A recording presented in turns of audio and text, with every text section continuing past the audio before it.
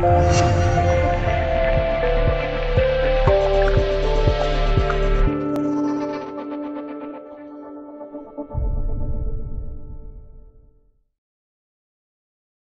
国法兰克福有一家名为 BB Co. Arc 的汽车改装公司，该品牌创立于一九七三年，在上世纪七十和八十年代大放异彩。他们主要改装保时捷、奔驰和大众等德系汽车。尽管 BB 于一九八六年破产，但在二零一四年由创始人 Rainer Beckman 先生主持重组并再获新生。BB 令人印象最深刻的是保时捷改装作品。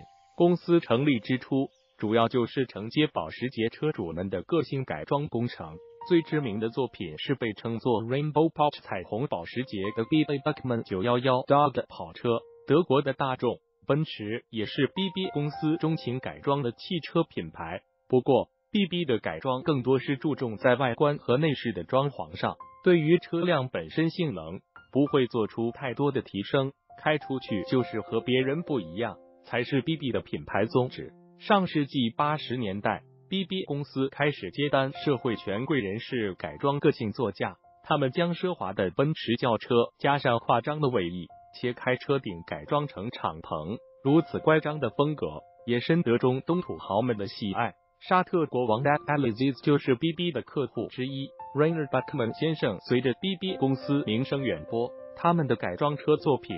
也得到了汽车媒体的广泛关注。彩虹保时捷登上了《汽车与运动》《花花公子》等杂志。从法兰克福到纽约，越来越多的潮流富豪找到 BB 改装自己的爱车，公司生意越来越好，设计师的灵感也就越来越飘。这些天马行空的家伙将创造力如魔法般挥洒在中规中矩的德系汽车上，其效果当然是令人惊讶的。一九八三年。BB 的设计师大胆推出 Magic Top 魔法车顶梅赛德斯 Mercedes 500 SEC 改装方案，将原本是硬顶设计的奔驰轿车改成了敞篷，而且与一般的折叠棚设计完全不同。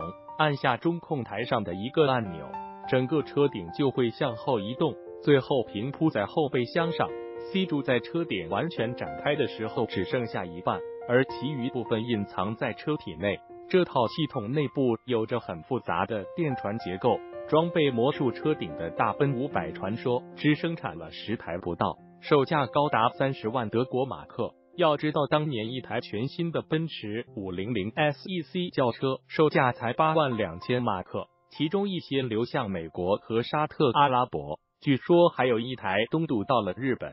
BB 的手艺绝对靠谱，即便是过去了三十多年。